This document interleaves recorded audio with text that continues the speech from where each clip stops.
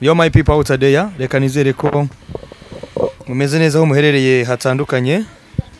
Abo mubona kuri screen zanyu bitwa New Voice aba ni abahungu babiri bakora umuziki mu gihugu cy'u Rwanda. Ni abahungu bafite indirimbo nziza jya kuri YouTube wandikemo New Voice. Urabona ibihangano byabo hari indirimbo bagiye bakorana n'abahanzi batandukanye. Harimo bakoranye n'Umutare Gabi hariyo baherutse gukorana na Peace Jolis n'izindi zitandukanye. Turi kumwe nabo kugira ngo tuganire byinshi ku rugendo rwabo rwa muzika. Uwo mubona hano iruhande rwanjye reka atangire abibwira ndetse no hakurya nawe abibwira turakwakiye kuri Yago TV show. Yego. amazina yawe? Ndi rugamba zina ya rugaruka kadeta rwibonesha ubufuzi icyenda juru. Indyanyo ya rupara indongozi ya runyura abagabo yarongoye abadatana mu mataba ya gitare jacques kibamba kimara nkimba inganje baririmba. Guma guma guma guma. Eh, ati Jacques Kibamba. Nawe ndakwakiriye hakurya hariya. Murakoze cyane. Ndi itandara rya ritana bakandagira ntiritake warihindukiza rikabakeba warikwikiza rikaganda. Ninjye mugozi wananiye abanzi. Nitwa christian zahabu mbarizwa mu itsinda rya new voice. Christian Zahabu ati ndi migozi yananiye abanzi. abanzi. Abahungu bateguye ubyumve ngo bateguye barasa neza cyane. Ku muteguro hano bambaye ikirenge. Nk'uko mubibona Mm, kuri shots zimwe na zimwe mwagiye mubona tugitangira cyangwa se tutaragera mu kiganiro nyirizina. Kamera woman nawe aba ari mu kazi cyane hariya Nadine cyangwa se amjaja kuri Instagram ni ho wamusanga kabisa. Hanyuma abahungu ni new voice ariko ni babiri bafite amazina yabo bwite biswe n'ababyeyi babo uretse ko bahuriye mu itsinda rya new voice. Reka mbere kuri kibamba. Kibamba new voice yabayeho gute? New voice yabayeho ryari? New voice imaze igihe kingana iki mu muziki? Ah, new voice imaze imyaka itanu ibayeho. Ah, new voice yatangiriye muri ah, radio tv 10 itangijwe na kategi staff Ah, ubwo twajyaga kumwaprocinga so nuko new voice yabayeho. Ah, ukuntu njye nawe twamenyanye turi abantu bareranywe babaye muri karitsiye imwe cyane. Wowe nakate cyangwa na Eh, njye na chris na rwogera. Mm. ngogera nawe rero nkugezeho nanone uyu muteguro cyangwa kugira ngo muhitemo kwambara gutya uyu munsi mwabihitiwemo nande? Ninde wabambitse niba hari cyangwa nimwe mwihitiyemo? Iyi stile rero tuyita la? Bayoga La? kati ya paleko la? Bayoga Labayoga. Eh, zaliva ngoma sale ya kaleoni nyine ni ni ni ni ni, ni imyenda nyine ya, ya, ya, ya african african style niyo dukunda kwambara. Tuba tumaze igihe tutanabyambara nyine nuko tw- twumvise uyu munsi dushaka guhindura tu. Mm. ya rero dufite umuntu utwambika yitwa kukuji eh, ni we watwambitse ino myenda Mm. afite iduka ryitwa ambara house of fashion. Yego. Yego. Mhm. kukuji ndagusuje cyane uwo mujama ndamuzi ndamuzi by the way. Reka mushimire cyane nako musuhuza kukuji big up on yourself komeza kabisa komeza ufashe abahungu. Abahungu nanjye ndabemera nkunda ibihangano byabo kandi ntekereza ko utibeshye. Uzakomeze ubabe hafi uzakomeze ubafashe. Kibamba. Hanyuma imyaka itanu mumaze mu muziki. Uyu munsi mumaze kugira ibihangano bingahe? Ah, tumaze kugira indirimbo esheshatu. Ah, iya mbere yitwa viza niyo yabashije kumenyekana featuring umutare gabi Um, twayikoreye muri rebo ba bantu nakubwiye batwinjije mu muziki. Ah, batujyanyemo yitwa dream record. Ah, twasohoreyemo iyo ndirimbo dusohoreramo indi yitwa mabote featuring ziggy double five ni iyacu twenyine y'ikinyarwanda ariko yo yakoreshejwe mu mamariyaje cyane yitwa mm, nari nkukumbuye nyuma ya nari nkukumbuye haje umbereye na producer piano. Eh, nuko nyine zigera kuri esheshatu. Yego. Bivuze ko buri mwaka niba bamaze imyaka itanu buri mwaka musohora igihangano kimwe. Yego. Kubera iki? Ni impamvu nta yindi buriya. Ah, u- ku mavuta ni we wigeze wumbaza ngo mwananiwe kuzamuka cyangwa ah, mwabuze impano impano yanyu za buri mwaka. Namubwiye ngo Amavuta? eh, fata ku eh, ku manuza nyine. Eh, ubwo rero ah, ni we wagize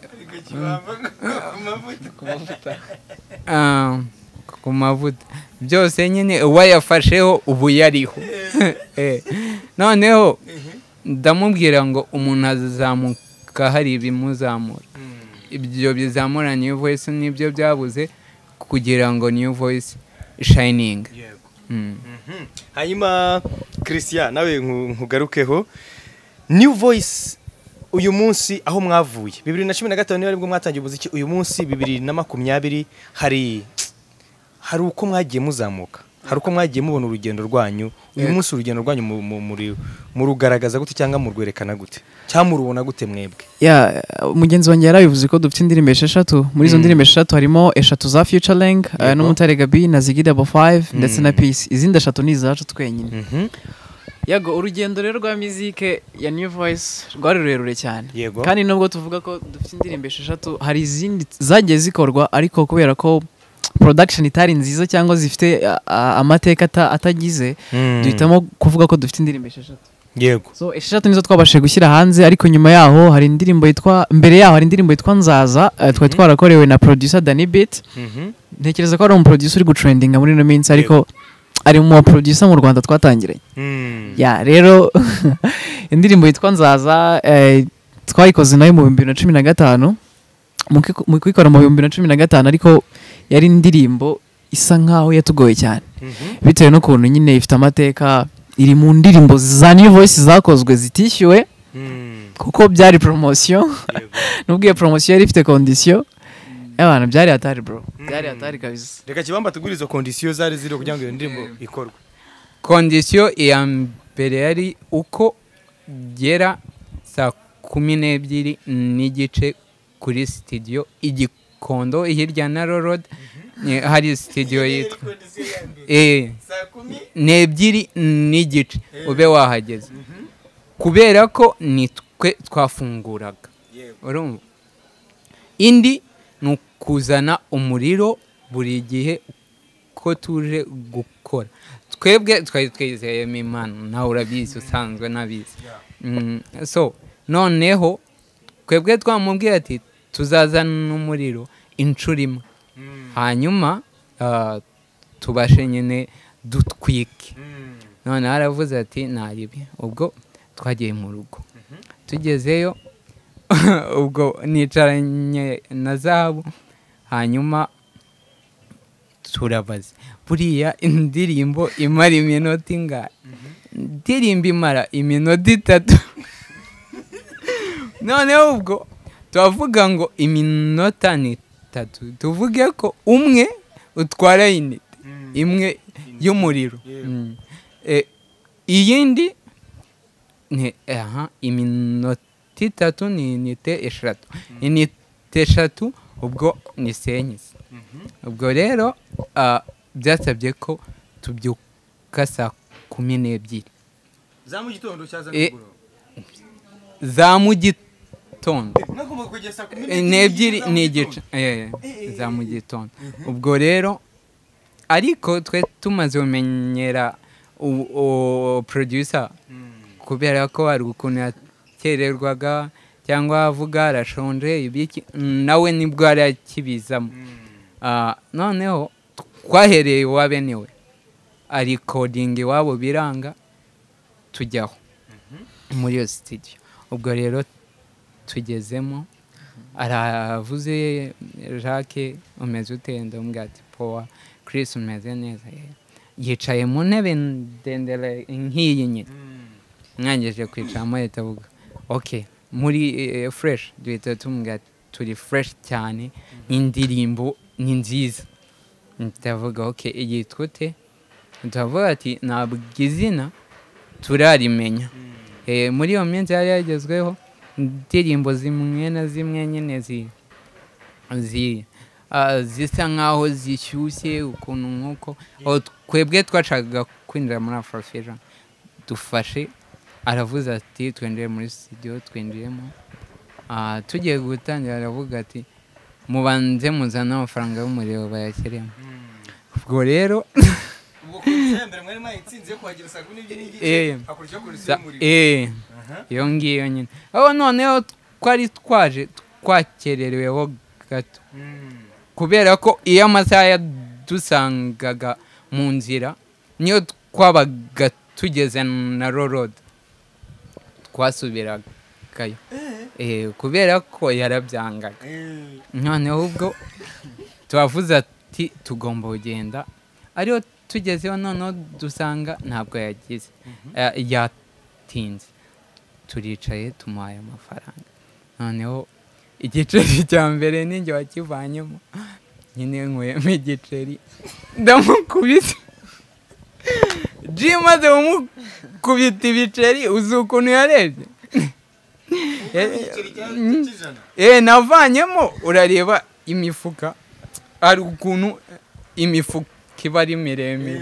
Nkuramo fureshi nkuramo ikijana. Ubwo hari bibiri Eh, ubwo byari muri bibiri na cumi na gatanu. bibiri na cumi na gatanu mu ntangiriro. Ukuvuga ngo amafaranga y'umuriro mwari mwitwaje yari senyisa gusa. Yego ni kwa kundi ni kwa kundi umuntu akubwira ngo nkwemereye poroje y'ubuntu ariko uzagura umuriro. Uzagura umuriro. Iyo avuze umuriro rero nawe uhita wishyira mu mutwe ko icyo kintu ari umuriro koko. Ugatangira ukabara se indirimbo buriya inite imwe cyangwa inite ebyiri ntizabikora. Mm. reka tugure uwa senkisa Ni mwinshi. turaza kumusigiramo inite kumbe ya mafaranga bita y'umuriro ntabwo ari umuriro bya nyabyo. Eh man. Uguramo igiceri eh nkwema igiceri ji mbona ahise tu n'umuntu ma dani ni umuproducer mwiza uri cool sana iyo umubabaje ahita akuraburiza eh. Eh ji yahise nkubita ikijisho utya mana nkubise ijisho ndamureba mba ndayafashe yose noneho nayajyanyije ndayamuha ji yahise ayafata turya ubu aya ni amafaranga ya none watubwiye umuriro ubwo ntabwo yadusubije ahita musohoke. Mugende. Ubwo rero twarasohotse noneho turagenda dushaka amafaranga y'umuriro. Noneho turayashaka senyisa aya ni amafaranga. Aya ni amafaranga. Musohoke. Twese twisohokera nyine. Twagenda. Mani twababaye cyane. Noneho ubwo sinzi ukuntu gutya twabwiye wa muji wacu. Turangije kumubwira atubavuze ati sasa kuri imeze ute Reka tuvuga ati amafaranga tugomba kuyongera. Twongereye mani tumushyiriye imfura inyama.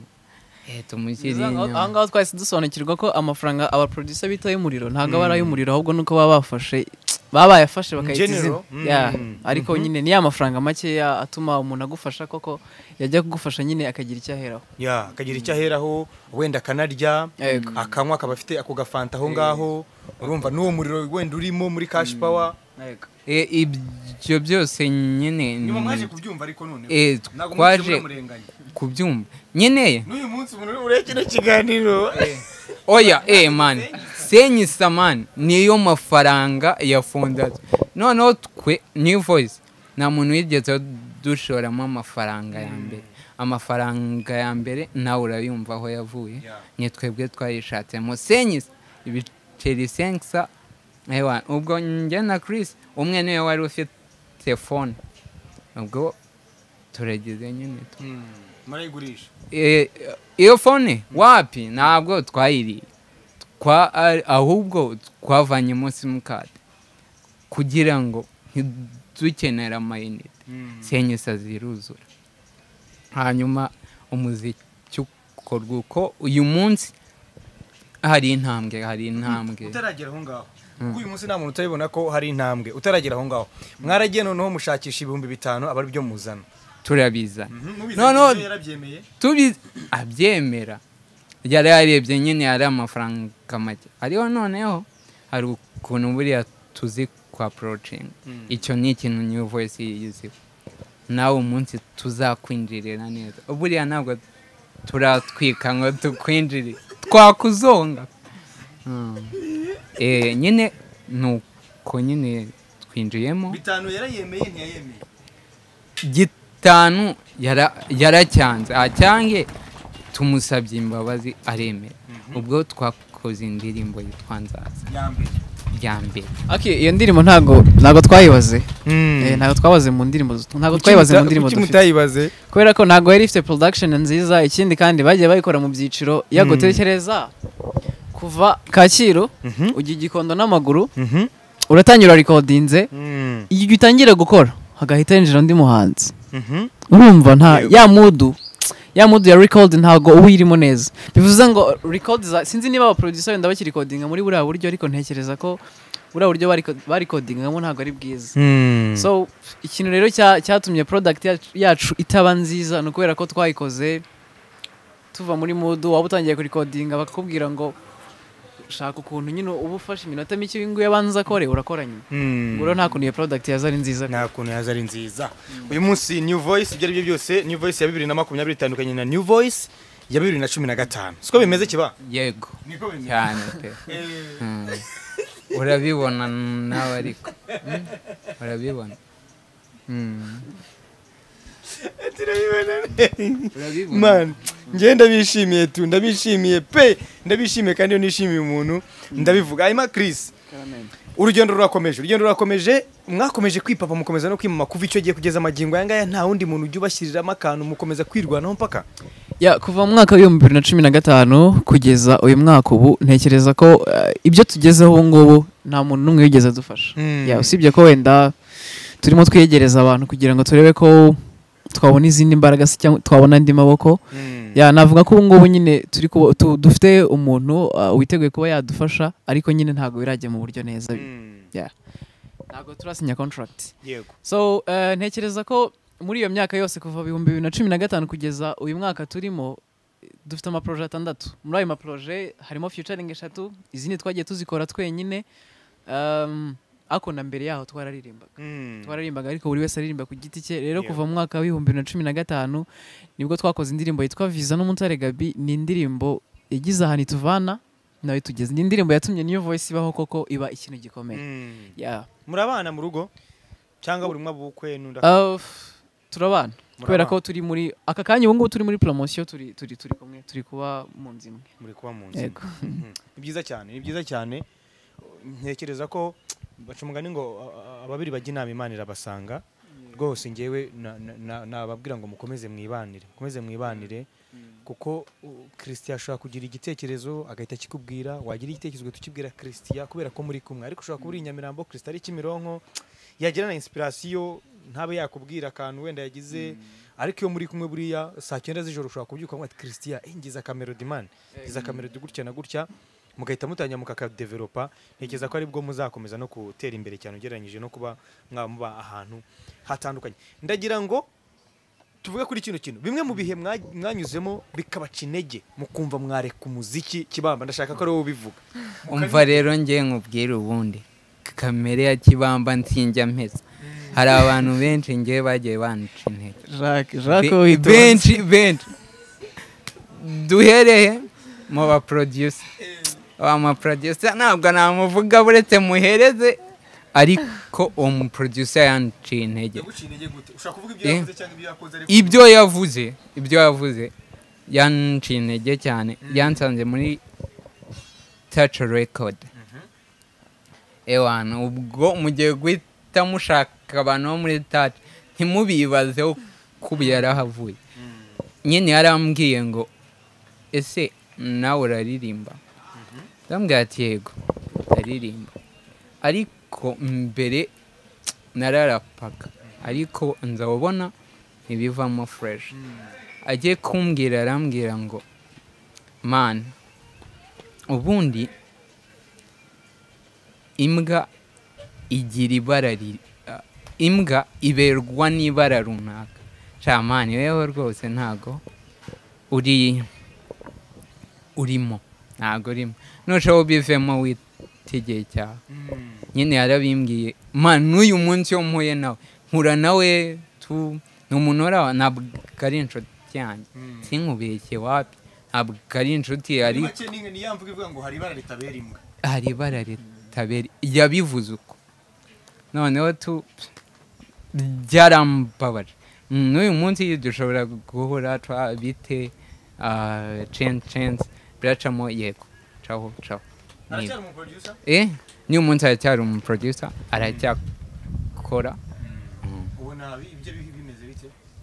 ibye uyu munsi si ntabwo wavuga ngo ntabwo ari mu bihe byiza nawe nawe ntabwo ari mu bihe byiza Ah. Ntabwo ari- mu bihe byiza pe Eh? oya sha nitere oya aba producer bama umva ngeke eko se nkeneye amaboko kandi nawe nayamusaba. Man ni tracks nteya sitewe tracks leya. Niko yakubwiye gutyo njye yabimbwiye yuko duhagaze hanze.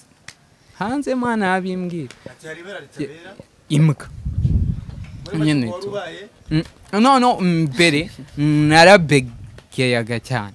Cyane cyane. Ariko naririmba ntibyumvika n'ubu ngubu tambuka uze nkuhobere umubiri wanjye ushira ibicuro. Nari nkukumbuye. Nyine ntabwo ntabwo ndidimanga noneho we nta nubwo yumvisha ukuntu ngira gato ariko yahise abimbwira reka munyemerere iyi ni itsinda rya new voice munyemerere muturirimbire ku ndirimbo yanyu ya mbere mwise viza iri mu ndirimbo zanyu ngewe nakunze. Hanyuma n'abadukurikiye bavuga bati wenda impamvu Traxler yavuze iryo jambo cyangwa impamvu yakoresha iyo mvugo reka twumve abahungu uko baririmba. Udukurikiye kano kanya we ubwe yumva uburyo muririmba. Tutararirimba iyo ndirimbo yitwa visa twayikoranye n'umutare gabi Ah, ni sije y'umuhungu uba ukundana n'umukobwa umukobwa wese bakundanye akajya hanze undi bakundanye akajya hanze. Then akibaza niba ari inyatsi niba ari njye visa kuki uwo nkunze wese ajya ibwota amasimba si Yego. cyangwa se ajya imahanga Mm. niba ari inyatsi niba ari njye visa ntumbaze uwo nkunze wese ajya ibwota amasimbi ntumbaze kagere nk'urumama yeah. Ntumbaze kagere nk'uruti ajya ibwota amasimbi Eh, nakundanye na keza.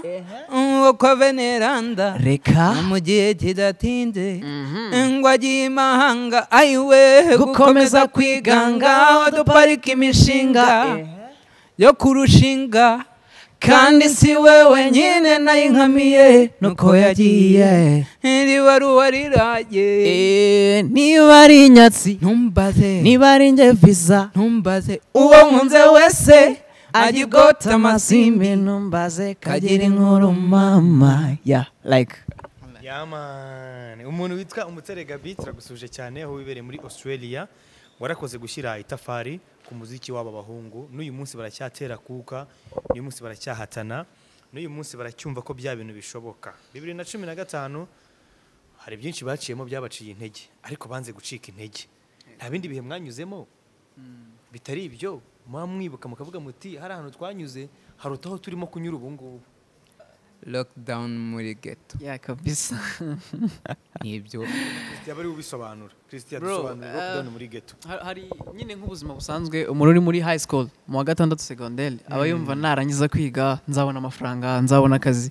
Bitewe n'uko hari udufaranga duke aba arimo arabona muri bwa buzima bw'ishuri nyine. Ya, kubera ko Mm. twagiye turirimba mu- mu- muri mariage dusohora abageni. Tukabona amafaranga Mm. noneho tugatekereza ko umunsi tuzaba twarangije nyine segonderi noneho ibiraka bizaboneka bizaba ari ibindi bindi Mm. noneho biza kuduhira tukirangiza segonderi tukirangiza gukora exeta uh, twandika filime tumaze kwandika filime baduhereza amadolari uh, magana atanu amadolari magana atanu Mhm. urumva nyine nk'umuntu ukirangiza segonderi uba wumva ufite n'ubuzima uba wumva ufite amatsiko y'ubuzima bw'igato ukuntu bimeze Mm. sha reka tugeremo rero Mhm. Tugeremo ayo madolari magana atanu bayaduhe twari twanditse filime twagomba no kuyikinamo ni filime yagombaga kugica kuri cano zo muri congo. Yego. Eh, ariko nyine nyuma yaho ntabwo byakomeje ntabwo byashobotse ko izo izo filime tuzikinamo ariko twari twanditse story yayo. Twagomba kuyandika muri story mu kinyarwanda and then abo bakongomani bakayishyira mu rurimi rwabo. kuba ghetto rero tubamo buri kintu cyose ukeneye nyine ugomba kwishyura inzu nziza Mm, urumva umeze neza. Najyaga ntekereza ko ntabwo natinya kubivuga. Najyaga ntekereza ko bwa buzima bw'igeto nyine bw'abasore ni kwa kundi ugomba kuzana abana iki? Ndakubwiza ukuri ko. Mm. twarinze tuva muri iyo geto nta mukobwa n'umwe winjiyemo. Bitewe n'ukuntu mayindi zacu za- za- zari zimeze twumvaga turi interested ku bintu bijyanye na no kubona amafaranga cyane kurenza ibindi. Mm. ubuzima bw'igeto rero amadolari magana atanu yari amafaranga atari make ariko nanone ntabwo ari menshi. Niyo amafaranga ushobora gusohokana inshuti zawe Eh. mugasangira ukayabyinira. Cyane cyane ko twumvaga noneho ko tugiye gusinya na contract ayo mafaranga azajya ahora aza. Mm. reka rero bihurirane rero lockdown iteremo. Ah, ubundi avuze uko nyine mpita noneho mfiringa. Ukwezi iyo kwashiraga. Abyihoreye ariko. Ubwo mani byabaga ari danda noneho nyir'inzu yitwaga zakayo. Noneho zakayo yarazaga. Agakomanga pu pu pu pu. Mani ukicara akavuga ati ndamubwira iki? Ubwo rero iyo wabaga uryamye warisinzirizaga ugahita usinzira ntubyumve ukica ntago ntago ari wa muntu ukwezi kwashiraga ngo akubwire ngo nyishyura ah. yarakomanga akaza akubwira ko aje guhindura serire yapfuye aje kureba ko irangi ri- ri- ri- ridasa nabi ngo rihindure. Ariko wahitaga umenya ko ari kukwishyuza tu. Rero ah, ubuzima bw'igeto twab- twabwigiyemo ibintu byinshi nka new voice ah, twihuje nka new voice. ubwo buzima mwabutangiye ryari? Tukirangiza kwiga bibiri na cumi n'umunani ni bwo twarangije kwiga Mm. and then bibiri na cumi n'icyenda uh, tuyimaramo nyine turi muri geto Uh, uyu mwaka nawo twawutangiriye muri geto usibye ko nyuma yaho nyine byaje kugira kwanga ko bitewe n'uko nyine iyo kontra yajemo ibibazo kubera ibintu bya kovide Um, nyuma yaho nyine tuza guhitamo gusubira mu rugo. Ariko wumve ngo ubwo buzima bw'geto twabwigiyemo ikintu ikintu kinini cyane. Twabwigiyemo ibintu byinshi kwihangana kumenya kubana n'abantu kumenya ko ugomba kujya muri gahunda zawe izo ari zo zose ariko uzi neza ko ugomba kurya. Yego. Kibamba mwarihebye hari aho mwagize muriheba? Yego. Nyine hari igihe warebaga noneho. Ubundi hari hoteli imwe twararangije tuba tuhuye na rwanda image films. Ah, tunashima cyane umuyobozi wayo. Ntago ajya ava kuri new voice. Ah, noneho abadukubise senyisa urumva?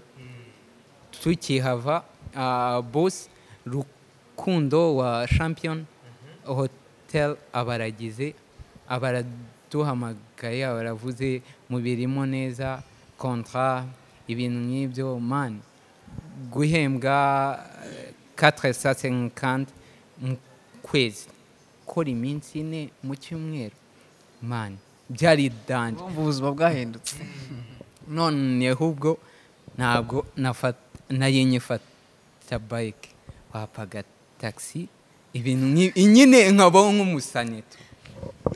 Mu- eh, nta nyine nkagenda kwifunga kwambara icyangwe fureshi noneho mu nzu ugomba kuba ufite utuntu twawe twiza. Kagaze noneho igisekeje uzi icyo ari cyo? Ah, nyine eh, mu kwa cumi na kumwe bibiri n'umunani hafi aho. Nibwo eh bibiri na cumi n'umunani. Nibwo twarangira oh gaze twayicanye bwa mbere bibiri na cumi n'icyenda mu kwezi kwa kane. Nibwo twayicanyeho bwa mbere. Kubera nyine agafaranga kari kakiza. Ibintu byari bikimeze neza. Igihe cyaragize iyo gaze se murayibura? Turayibura. Ibihe bya lockdown. Byari hatari bro. Byari hatari kabisa. Mm, tekereza ko mushiki wa Jacques yazaga kudusura tuzaniye ibiryo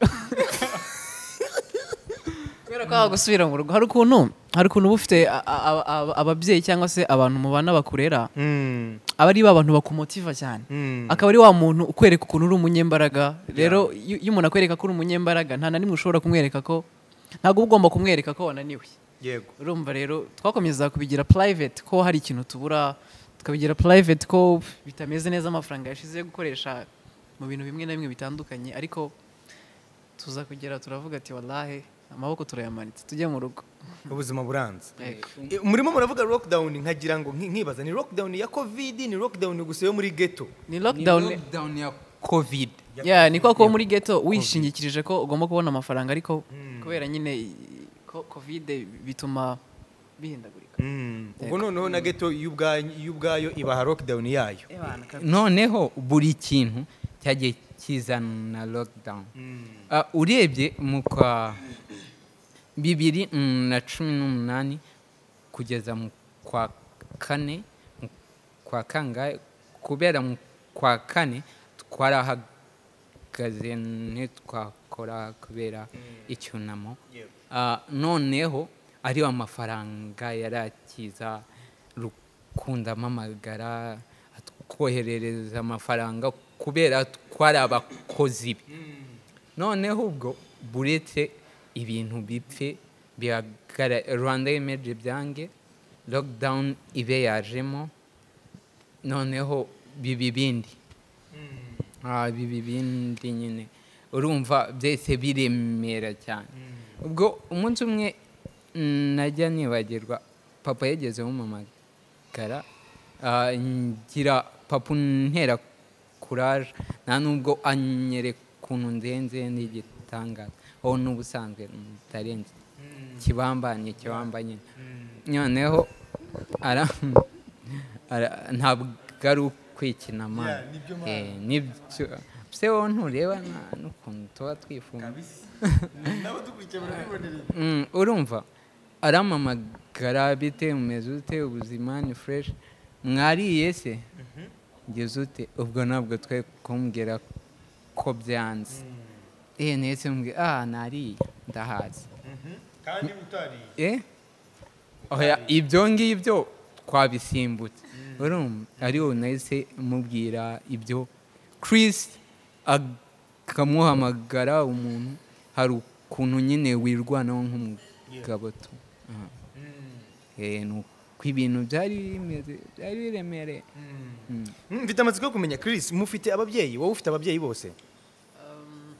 Ikibazo rero kijyanye n'ababyeyi kijya kingora ariko Mm. navuga ko ntawe. Wavuga ko Yego. hanyuma kibamba wowe urabafite? Yego. Papa na mama. Mfite papa na mama.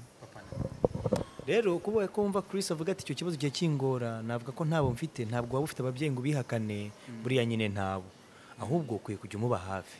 Kandi nawe akakuba hafi. Kandi ni na byo mwakoze. Sibyo abadukurikiye kano kanya nabo wenda turimo turanyuzamo tugaseka ariko ntabwo turimo guseka ibishimishije.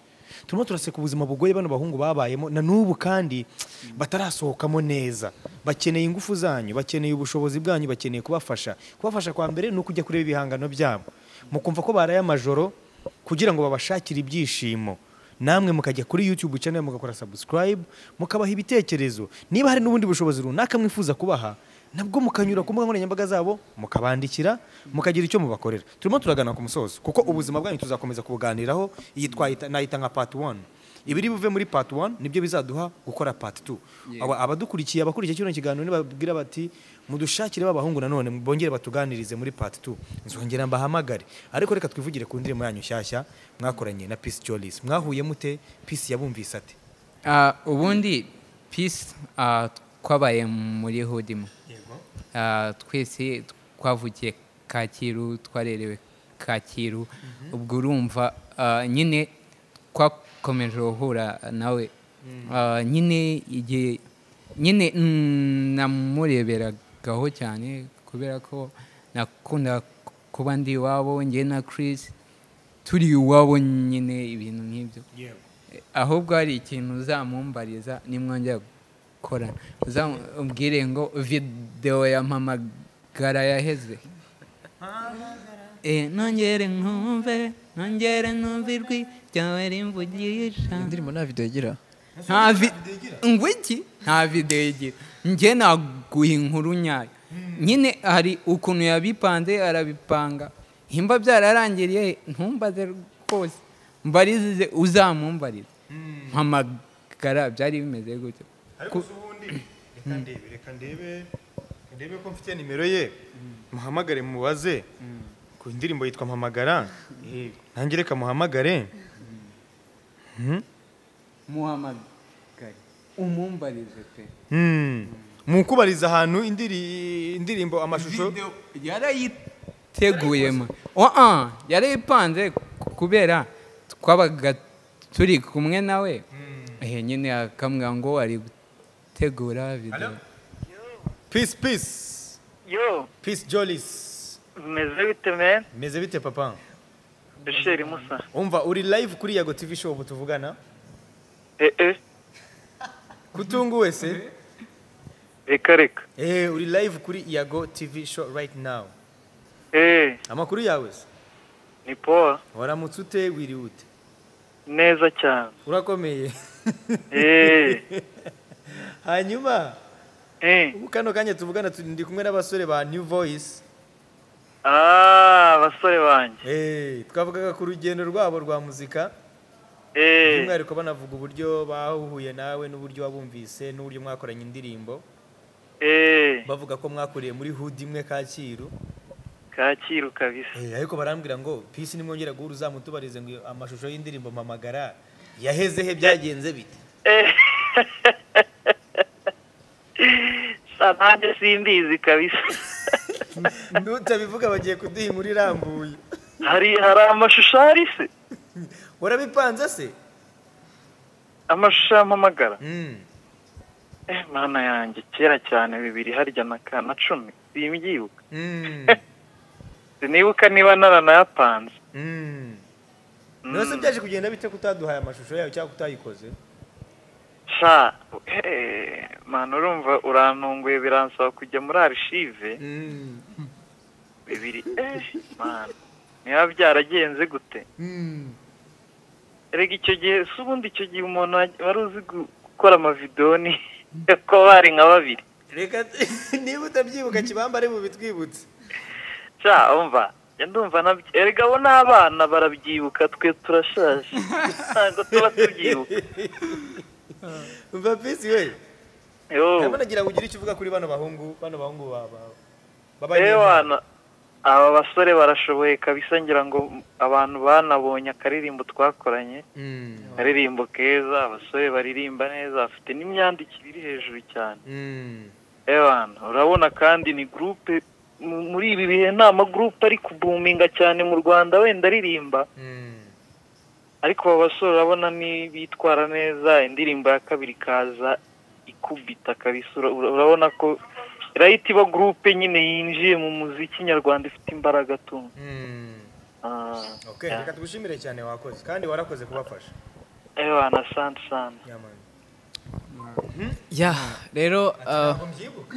Mm, abyibuka urumva haciye iminsi hariho nyine twebwe impamvu tubyibuka urareba ni grand frere grand frere nyine proje ze kaza waba wicaye mwicaranye ahantu akubwira "Mm, nari muri ibi nari nagiye muri ibi. Yari agiye gukorana na nikola Yego. um, agiye muri ibi ibintu nk'ibyo. Noneho rero kubera ko ari inzozi nawe ubwawe wifuza ko wagira ni byo bintu ugumisha muri. Eh, ugumisha uh, muri mind cyane Mm. Mm. Chris, indirimbo mwakoranye na Peace imaze kubageza kuki? Uyu munsi feedback mufite zimeze gute? Eh, eh, indirimbo twakoranye na Joris Peace right now unatekereza na- navuga ko twatangiye kubona abantu batwaporocinga kuba wakorana natwe urumva eh, uko ubu nyine umuntu uko a- atubwira big congratulation ikindi iyi ni indirimbo yaje itandukanye n'amaproje yose twakoze. Kuko audio twayikoreye muri Monster Record kwa Zizu byari urugamba rukomeye cyane kuko twadirectinzwe na n'abahanzi navuga ko bakomeye cyane muri kino gihugu niyo mpamvu proje yacu ifite ahantu yatugejeje. Ikindi video ni producer Mariva wayikoze. Yego. Rero indirimbo twakoze imaze ibyumweru bitatu isohotse ifite feedback nziza. Mm. iduha feedback nziza kandi yego ni byiza ko ni byiza ko abanyarwanda bamenyera ko gukora ikintu cyiza umuntu nakora ikintu cyiza agomba kugishimirwa aba yagitanzeho amafaranga ye aba yagitakajeho umwanya we niyo mpamvu rero atari byiza gupfobya product y'umuntu. Navuga ko rero proje yacu yabonye feedback nziza kandi ndanabishimira n'abanyarwanda. Mm. yego. Monster Records Maliva utakigaragara cyane mu gukora amashusho ariko iyo akoze amashusho akora amashusho neza cyane. Ubushobozi bwaturutse Christian. Dufite ukuntu twadirinze na mariva. Uh, twaramwishyuye ariko ntabwo twamwishyuye nk'ayasanzwe akorera. Uh, ikindi yaradufashije. Turanabimushimira cyane. Mu byo twumvikanye rero twumvikanye ko indirimbo yacu igomba kujya kuri cano ye. Indirimbo yacu ntabwo iri kuri cano ya new voice iri kuri Mm. cano ya mariva. So nuko byagenze. Ariko audio yo twarayishyuye. Kwa zizu Mm. yaranadufashije cyane. Ikindi nshimira n'abantu bose badufashe kuri ino proje the ben buravan. Ko batudirectinze nyine muri kurikodinga nyine Mm. yego Mhm. reka mbashimire reka nabo mbashimire. Reka nshimire the ben reka nshimire buravan. Niba barafashe umwanya wabo bakagira bimwe mu bintu babereka bati mubikore gutya mubikore gutya. Ni bakuru banyu. Ni bakuru banyu mugomba kububaha ni bakuru banyu mu muziki ni bakuru banyu mu myaka ni bakuru banyu muri byinshi. Uyu munsi the ben kuba yafata umwanya we akavuga ati niba ndi muri monster records nkumva indirimbo ya new voice nkagira ikintu nyishyiraho ni umusanzu ukomeye. Uyu munsi niba buravan uherutse kuva muri mu- mu- muri tuwa izenguruka afurika yose puri de kuverite akaba yafata umwanya kumva indirimbo yanyu ni umusanzu ukomeye cyane. Reka mbashimire cyane kandi mbabwire ngo ntimuzacike intege. Ntimuzacike intege. Aho mwavuye ni ho hari habi ugereranyije n'aho mugeze uyu munsi. Ntimuzacike intege. Ntihazagire umuntu ubaca intege. Ngewe uriya iyo ntashoboye gufasha umuntu ntabwo muca intege. Hari ukudashobora gufasha umuntu hakuno hari no kumwongerera ibikomere cyangwa ukamwongerera inguma. Ibyo bita ariko hari inguma. n'igihe agukomeretsa ku ifito ryawe. Ntekereza ko njye n'abantu banca intege buriya nabo mu buzima mba mba mbakeneye. Mm. Kubera ko buriya yago ubuzima ni kompetisiyo igihe umuntu akweretse ko udashoboye kora uko ushoboye mwereke uko ushoboye koko. Mm. buri rugendo rutangizwa n'intambwe imwe. Kandi umwana wese atangira agwa ubutumwa bukomeye cyane bufite ubusobanuro bwimbitse ku babwumva bakabunyuza mu gutwi kumwe buka- bukanyura no mu kundi butanyuze mu gutwi kumwe konyine kuko dufite amatwi abiri. Mukomeze mushyigikire new voice. Ubutaha ni mu basaba nanone nzongera mbazane biraterwa na feedback zizaturuka kuri kino kiganiro. Tugiye gusoza muturirimbira hanyuma mushimire abari badukurikiye akira mikoro Ah, mbere yuko dusoza rero hari abantu bakunze kutunenga cyane ku bintu bijyanye n'uko badushaka ntibatubone. Hari ama social media dukoresha nkanjye nkoresha Christian Zahabu official kuri Instagram mugenzi wanjye ni Jacques Kibamba. Ah, ikindi dufite contact number turi gutanga kugira ngo ubaye udukeneye ukeneye kutugira inama ukeneye igitekerezo ukeneye kuduhereza ibitekerezo kugira ngo iduhamagareho. Ni zeru karindwi umunani umunani makumyabiri na rimwe icyenda karindwi ine gatatu. Turashimira cyane yago na jaja na na jaja turamushimira cyane. Man aya mashusho nubona ari bon nta wundi. Ni jaja arabizi ni umukobwa ushoboye cyane. Ikindi kintu ndashimira ah, grand frere yago kuba yafashe umwanya we akatekereza new voice. Ah, ikindi ni uko nyine wakomeza gukurikirana new voice ushobora kujya kuri youtube. Ah, uyu mwanya ukareba indirimbo yitwa kugukunda by new voice featuring jolis peace. Indirimbo tugiye kubaririmbira ni iyihe mwana? Tugiye kubaririmba indirimbo yacu yitwa nari nkukumbuye. Ni- indirimbo dukunda kuririmba mu bukwe turi gusohora abageni.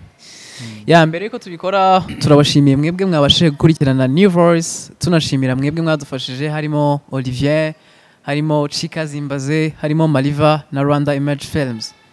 Mwakoze cyane.